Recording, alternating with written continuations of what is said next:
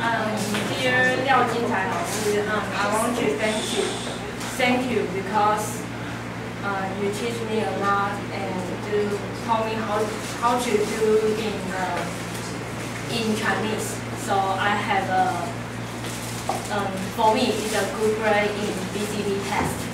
Yeah, mm, and that my my neighbor neighbor tell, told me that you are you and I'm very but I will find you. Thank you. Okay